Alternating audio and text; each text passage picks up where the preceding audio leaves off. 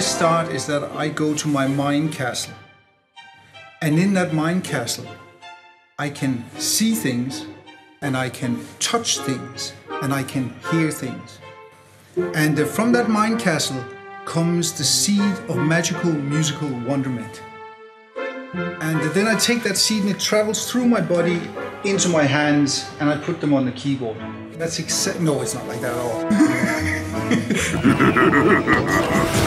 Working uh, with Supercell is very much a, it's a team effort. So the team had this very strong opinion that it should feel gamey, the music, that it should be simple and kind of light, but still have that uh, fantasy feel. So, and there are many, many ideas going on that when I started writing the music, I would write a small passage and send back, and they would give their critique, and then it would come back to me, and I would try and, and so a very painful and very long process but at the end we ma- we managed to get to the end. That's what this is all about isn't it when you write music to get to the end.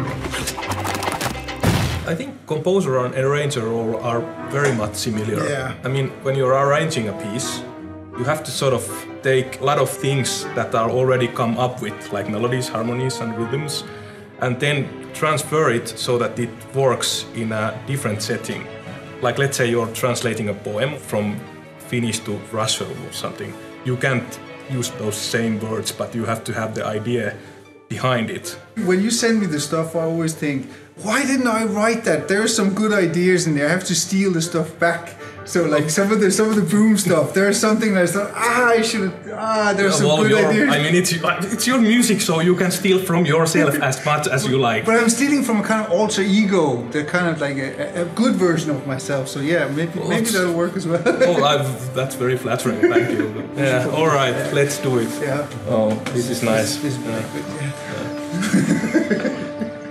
okay, that's weird. No it's, no, it's not weird.